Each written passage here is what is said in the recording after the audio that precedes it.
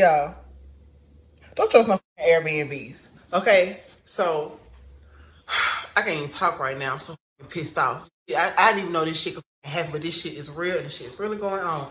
Goddamn, I call myself trying to find a way to goddamn pay off my mortgage a little better, a little quicker, or whatever. So I put this this ad out or whatever saying I was looking for someone to sublease one of the rooms in my house or whatever. It was gonna be a, supposed to be like this real smooth transaction, whatever. I was went on vacation or whatever. The person was supposed to be gone three days prior to my return. so I'm talking to my housekeeper or whatever, XYZ. She's like, yo, that person is still here in your house. What you mean they're still in my house? They're supposed to been gone. So when I get back and touch down in the city, this is still here in my house, okay?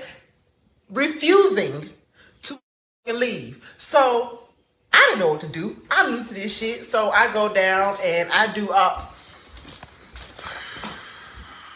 There go, y'all. Straight to the kitchen. I ain't going nowhere. So deal with it.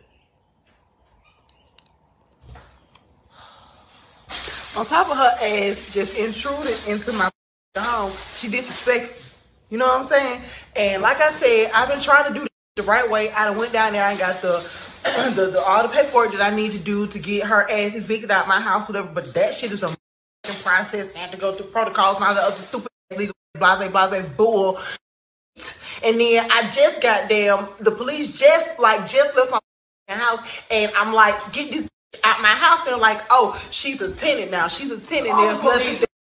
You and the police, okay? My door. That's all I know. Your door. This is my house. How about you get the f- out of my house? How about that's what you do? How about you get the f- out of my house? How about you get the f- out of my house? How about you get?